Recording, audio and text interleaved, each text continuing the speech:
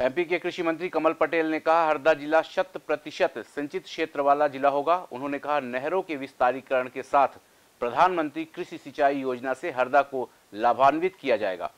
किसान कल्याण तथा कृषि विकास मंत्री कमल पटेल ने कहा है कि हरदा जिला शत प्रतिशत सिंचित क्षेत्र वाला जिला होगा।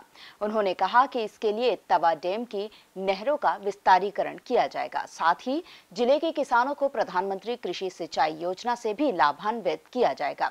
पटेल ने हरदा सर्किट हाउस में विभागीय अधिकारियों की बैठक में इस संबंध में आवश्यक कार्रवाई करने के निर्देश दिए हैं। तो बीस क्यूसेक जल प्रवाह अतिरिक्त उसका कट जाता है उसकी योजना आने के कारण हमको कम मिलता है।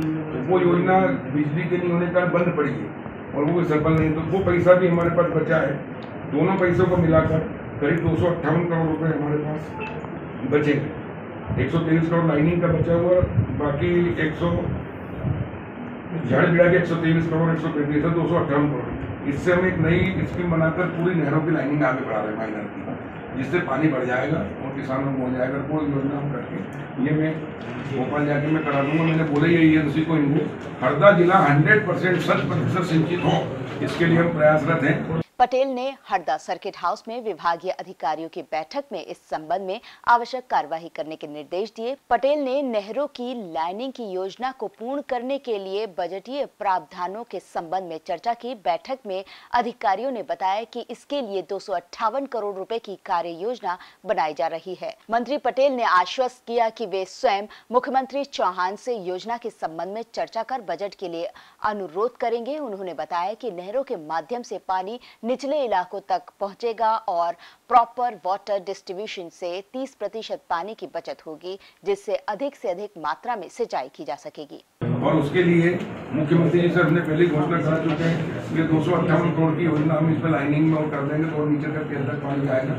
दूसरा, नीचे हमारा सोनतलाई कर्णपुरा लोटिया हनीफाबाद पिछोला कजबेड़ी जामली और उसके नीचे जो उधर गाँव है हमारे। ये उसमें नहीं है तो इसको भी लाइनिंग करा के नहरों को आगे बढ़ाकर उनको भी सिंचित किया जाएगा या फिर लिफ्ट इरीगेशन से हम प्रधानमंत्री कृषि सिंचाई योजना में लेकर इसको सिंचाई करेंगे। संगीत की स्वर लहरियों से सांस्कृतिक ताने बाने तक चंबल के पीड़ों से नक्सलवादियों के गढ़ तक झोपड़ी से महलों तक ठेलों से मेलों तक पगडंडियों से सड़कों तक गाँव से शहरों तक। व्यापार से उद्योगों तक। राजनीति से कूटनीति तक। दखन न्यूज़। आपके हक।